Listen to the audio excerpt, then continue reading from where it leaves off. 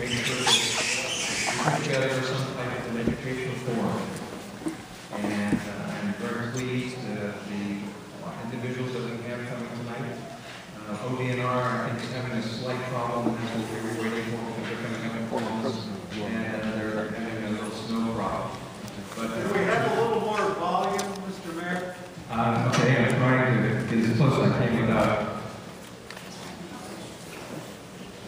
What we're trying to do also is we, we were trying to wait a little bit for the ODNR, uh, Richard Simmers, Simmers to come. Uh, he's having a little problem with the weather. But uh, tonight, um, we have a panel that we want to ask to have available for questions. And Dr. Jeffrey Daniels, I will introduce in a second. But before that, I want to just kind of sit down and talk with everybody and explain the format of the meeting tonight. First of all, I want to make sure that everybody understands this is not a rally, this is an educational meeting. And uh, that's why we have Dr. Daniels coming out to give us some information. And we also have the ODNR going to be coming up and giving us a little bit of a presentation. So, and we've got a maximum hour or two hour limit, and we want to keep to that. Because I think this is a topic that we can sit there all night long and discuss, debate, but we don't put a, a, a limit on it, we'll go all night long. So we are having a two-hour limit. It will be, we will be over at eight o'clock. We want to make sure that we are very respectful to the speakers, and uh, I think everybody should have gotten a piece of paper. They came in, they didn't get a piece of paper to ask a question. Uh, please uh, put your hand up if you, if you need one. Uh, right down here, and we'll have a couple. There's about three or four. Um, But what we want to do is, when the question period comes up, we'll go down through the aisles and we will try to uh, collect those. And then we're going to try to get through as many questions as we possibly can. We're not going to get through them all, but uh, uh, another individual I want to introduce, and he's right now doing some screening of some of these questions, is the Assistant Director, Chris Brown. Can stand up so that everybody can see. But basically, tonight, it was all started with um, Director and I wanting to sit down, come up with a forum. And I had a contact, I contacted Dr. Nicky out of Ohio State University and asked him for his advice on who he would think would be an expert on fracking injection wells, and he suggested that we have uh, Dr. Daniels. So I'm going to introduce him now and then get started with his presentation.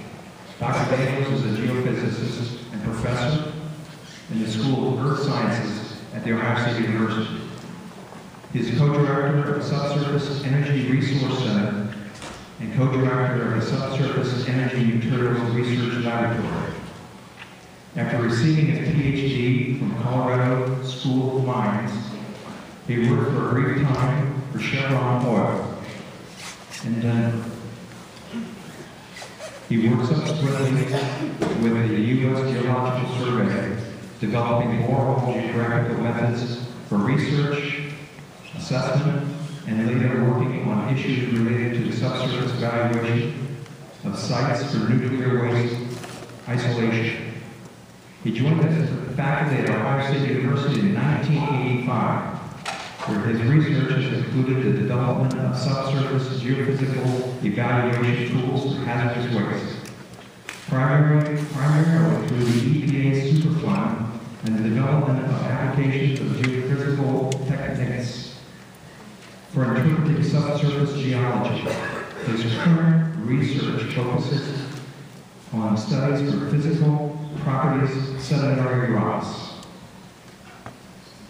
I would like to introduce Dr. Jeffrey Daniels.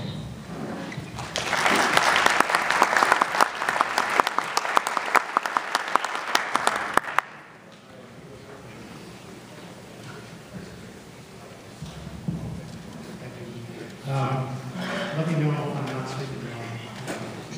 Um, it really is great to be here in Mansfield, and uh, you're having trouble with this.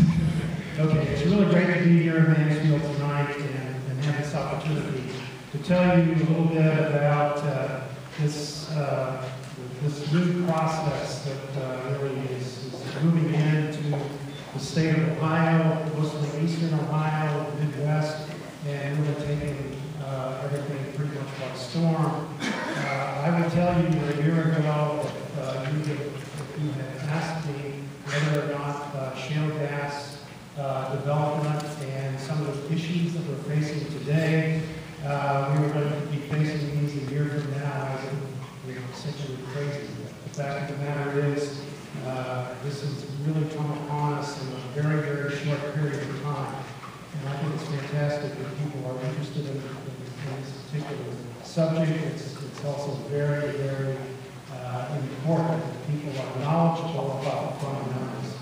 And so that's my job tonight. I was asked basically, to come in and, uh, and, and, uh, give a presentation on, on different processes that are involved in hydraulic fracturing and in waste disposal, uh, waste injection. So I'm going to do that, uh, in the course of the next, uh, forty or forty-five minutes. Um,